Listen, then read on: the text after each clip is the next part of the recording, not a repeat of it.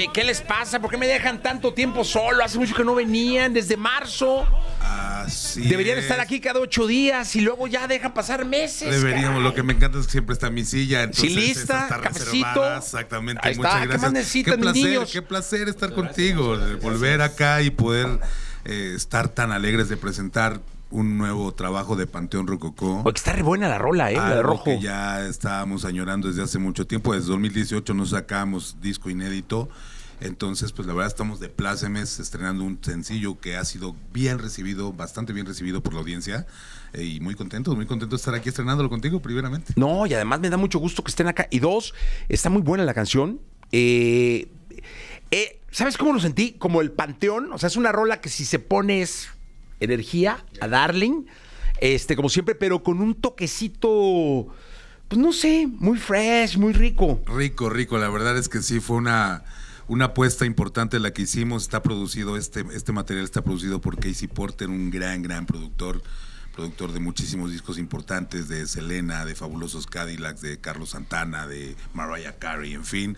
Nos fuimos a Los Ángeles a, a grabar estos temas con él y la verdad es que el resultado fue este todas nuestras expectativas, ¿no? La intención también, tú sabes, después de tantos años de estar trabajando en la industria, es qué más le ofreces a tu público, con qué lo sorprendes, cómo te refrescas en el sonido, cómo buscas nuevas experiencias sonoras para poder ofrecérselas a la audiencia.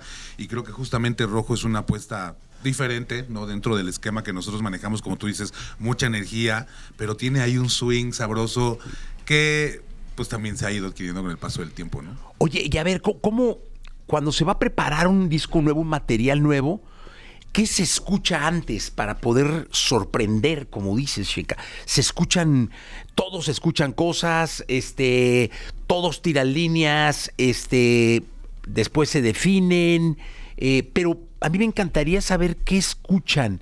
eh, para poder llegar a crear un nuevo proyecto cuando se tiene tanta trayectoria, tanto escenario pisado, tanto país recorrido, tanta ciudad y tanto estado en México recorrido, ¿qué se escucha?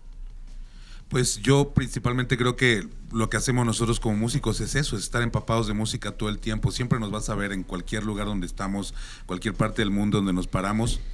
Hay una parada obligada en una tienda de discos, en una tienda de viniles, siempre comprando desde los viejos viniles, desde los muy antiguos, cosas que escuchaban incluso nuestros padres, hasta pues cosas completamente actuales, ¿no? O sea, justo acabamos de lanzar un tema con Karim León y es algo que, que- a nosotros nos llena muchísimo gusto el también poder como estar siendo parte de toda esta nueva ola de propuestas, de nuevos artistas, nuevas eh, tendencias que están surgiendo y también escuchamos obviamente lo, lo nuevo, ¿no? Somos padres de familia y en un sentido también nuestros hijos son una ventana a, escuchar todo lo que está aconteciendo actualmente en la, música. Entonces, obviamente conjuntándolo con ya la experiencia que tenemos como Panteón, creo que pues surgen este tipo de temas. Este, este, este tema, por ejemplo, está muy inspirado en aquellas canciones de The Romantics, tiene un, un swingcito así medio, medio, medio, medio punk al principio, pero después la onda se suaviza muy en la eh, en la onda de los ochentas. Entonces, este, pues la verdad es que el resultado a mí me- me- me pareció hermoso esta canción. Creo que la estrenamos en Oaxaca y tuvo un recibimiento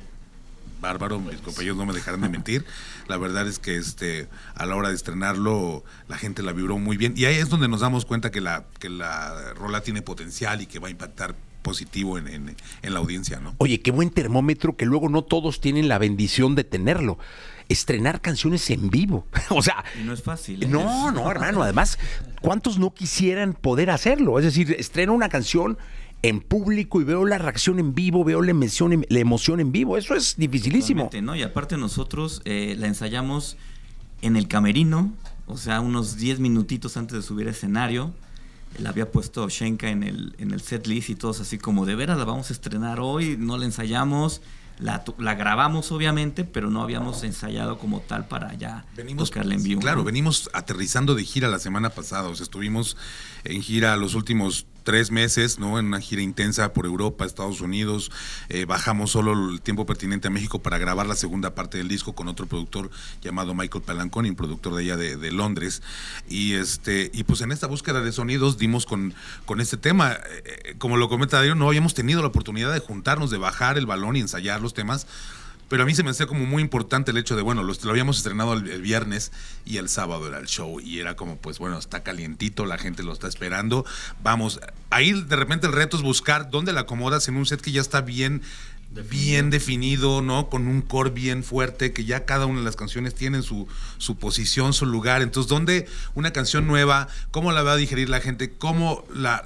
la La tienes que proteger, ¿no? Para que no se te Exactamente, caiga. Exactamente, para que no se venga abajo el. La verdad es que la gente estaba full con el tema. ¿Después de cuál fue? Es, fue justamente después de la dosis perfe- no, no, no, Regresando dosis al perfecta, regresando al. Ajá. De Ah, al o sea, Perfecto. justo antes de la carencia, entonces también como que la gente estaba en ese estupor, en esa, en esa intensidad. Y este, y como tú dices, un gran, una gran medición el poderla tocar en vivo, no el poderse atreverla a tocar en vivo, siendo que tenía solo un día de haberse lanzado. Y la gente, los- las opiniones y los comentarios en, en las redes sociales fueron bastante positivos. No hay mejor estudio eh, de popularidad que ese. ¿Qué? ¿La escuchamos? La escuchamos. De una, ¿no? Pues ya estamos hablando del tema y lo traemos así como muy platicadito con la gente. Va a decir, va, quiero escucharlo. Así es, así es. ¿Esta es la primera vez que la cantan? La primera vez que la cantamos eh, En para radio. todos ustedes amigos de EXA, venimos justamente muy tempranito y a ofrecerles este tema llamado Rojo y primeramente se los vamos a ofrecer en acústico, claro que sí. Vientos, ahí está el Panteón en vivo. Muchísimos saludos de aquí de Polanco, de Acámbaro, Michoacán, de Guadalajara, de Monterrey, de aquí de Chalco. Pues qué bueno. Oye, ¿qué, qué? eh, Cuando vi la rola, por algo, me pasó que pensé en que no rompía un slam. No sé por qué. O sea, de verdad fue así de que dije, ah, qué chido. La, la oí y dije, no, pues esta rola está perfecta para que si estás como eslameando, que ya no sé qué tanto se use o no, porque digo, en mi época, Se ha- se en la última carcajada de la cumbancha en el look, eh, se ponía, se ponía bien el slam. Este, pero ahorita ya no sé si se, digo, la neta no, creo que sí, de pronto. Sí, todavía. Todavía, ¿no? Los, los chicos, las chicas todavía los- lo hacen. Tal vez los que empezaron con nosotros allá en mediados de los noventas ya tan, no se meten tanto en el slam porque ya... Ya no, duele- hombre, ya yo me meto en el slam, hermano. No, termino en un hospital conmocionado y Total, este sí. salgo en silla de rueda. Pero este sí no rompe, ¿eh? No, no rompe esa energía que pudiera generar este, en rolas que prendan a la gente para eslamear, ¿no? Exactamente, y tiene un dejo ahí de ironía que yo creo que viene muy, muy manejado en este disco, ¿no? Esta parte de ver la vida con bastante humor, ¿no? El tema pues obviamente habla de un vato que se enamora de una chica, está ansiando con ella salir y de repente, de repente le pasa mil peripecias, ¿no? Que hacen que se arruine la cita completamente, pero al final pues lo toma con mucha con mucha ironía, con mucha sabiduría y, y, pues qué le voy a hacer. Maneras, tengo soy para el amor un poco torpe, tengo mala suerte, pero te amo, ¿qué le voy a hacer, no? Oye, de Papantla, Veracruz, Yeah, saludos, desde. California. Yadira, dinos de qué parte California es grandísima. Deberías decirnos si es este la California de este lado o la de aquel Sí, lado, claro. ¿no? Yadira, la para mandarte norte, un abrazo. del sur. Sí, hombre, pero muchas gracias. Oye, cuéntenme algo.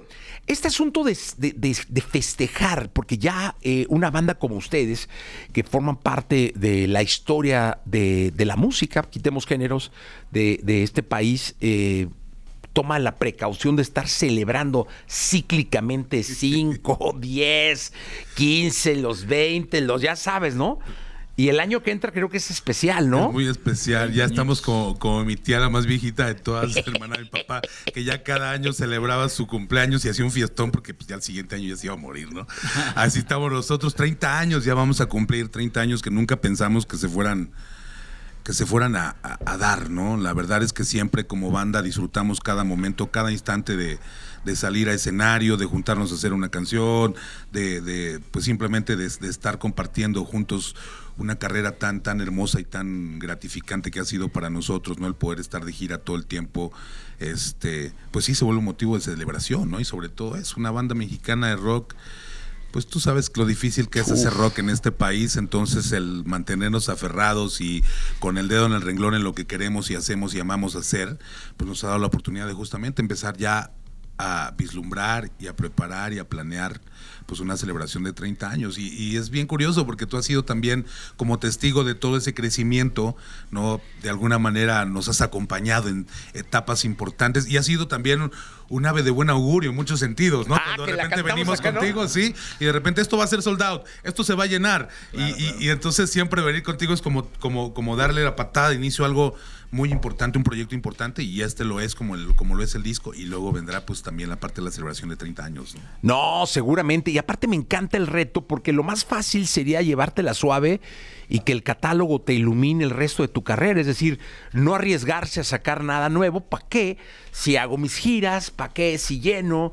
Eh, y me encanta que con el paso de los años sigan los riesgos y se siga buscando ofrecerle a las nuevas generaciones nuevas propuestas y nueva música. Eso ya no es fácil y no lo hace cualquiera. No, y precisamente eso, ¿no? O sea, eh, a mí me encanta también Panteón Rococó porque siempre se ha atrevido a hacer algo diferente. Si tú ves la discografía de Panteón Rococó desde el primero hasta este último, siempre tratamos de ir haciendo algo diferente y creo que eso se debe precisamente pues a, todo este andar que hemos tenido y toda esta música que hemos escuchado por diversas partes donde hemos estado. Entonces, obviamente nos influencia y obviamente tratamos siempre pues de estar, mantener fresco y atrevernos, sobre todo atrevernos a seguir haciendo cosas. Después de 30 años, es eso lo que dice, sería fácil mantenerse ahí como en una este, zona de confort y todo esto. Y, y, me agrada, me agrada estar con compañeros que les gusta eh, todavía, eh, eh, pues eso, atreverse a hacer nueva música, hacer nuevas cosas, ¿no? no, es fácil, y además con las nuevas formas que hay de promover, las nuevas formas que hay de, grabar. Claro. Este... En, en, ese sentido hemos sido como muy testigos de cómo ha sido transformando la industria en la forma de promover las canciones pero por ejemplo lo que nosotros aprendimos a hacer es venir a promover a la radio, el estar haciendo ese trabajo como digamos de piso que es importantísimo, ¿no? Para cualquier para cualquier artista. Y como dices también no dejamos de buscar también las nuevas plataformas, la búsqueda de productores, por ejemplo, yo también la resaltaría que es algo importante, no buscando también con qué productores podemos cachar, machar nuestras canciones. Este fue una aventura trabajar tanto con Casey Porter por segunda ocasión porque ya habíamos con él grabado algunas cosas. Y luego buscar, por ejemplo, a Michael Palanconi que también pues un, tipo que dentro del reggae, ska mundial, es, es un jerarca, es, un, es una vaca sagrada. Y luego también romper la barrera del idioma, que es bien importante, ¿no? Porque también entre el productor y, el, y la banda tiene que haber como una cohesión y de repente la limitante del idioma, aunque todos hablamos, mascamos el inglés más o menos, siempre también forma una parte importante. Entonces ahí nos obligó a cerrar filas, a trabajar de una manera mucho más consistente con él y el resultado ha sido, ha sido bastante divino. Este es el primer sencillo, ya vendrán algo, algunos otros más, pero les aseguro que sí van a encontrar en Panteón una evolución muy chida dentro de cada uno de los temas que les vamos a ofrecer de aquí en adelante. ¿no? Anaheim, California, ah, bueno, aparte Tlalpan, por acá Morelia, Michoacán, eh, gracias a la gente de Hermosillo, Sonora, muy bien, eh, conectados todos. Y bueno, al unísono, el grito en las redes, que es donde vibra, Zócalo a sus 30. Y luego viene Zócalo, Zócalo, Zócalo, Zócalo, Zócalo, Zócalo, Zócalo, Fíjate, fíjate que, yo creo que eso se, acaba también de agitar ahorita. Venimos llegando de Oaxaca, tuvimos el fin de semana en la como la inauguración de las fiestas de, del Día de Muertos allá en Oaxaca, que dura un, aproximadamente creo que una semana, semana y media, no sé. Y nos invitaron a hacer el primer show que hacen en Oaxaca, que hace el gobierno de Oaxaca, digamos, en una plaza pública al aire libre, gratis para toda la gente. Algo como lo que se hace acá en el Zócalo, ¿no? estaban un poco temerosos al principio de cómo se iba a, desarrollar, porque pues la primera vez que lo hacen fuera de la Guelaguetza o de los venues normales para hacer shows allá. Y fue interesante la respuesta de la gente, casi 30 mil personas en el lugar, este, disfrutando un saldo del hermosamente blanco, porque la gente fue a divertirse, fue a pasarlo muy bien. Y de repente la respuesta del público fue, los queremos en el Zócalo, en el Zócalo, en el Zócalo, en el Zócalo, en el Zócalo. Y eso es algo, pues yo creo que es una, es una materia, eh, una asignatura pendiente para Panteón Rococó, porque nos estaban buscando para hacerlo en el, año pasado, ¿no? Si no mal me equivoco.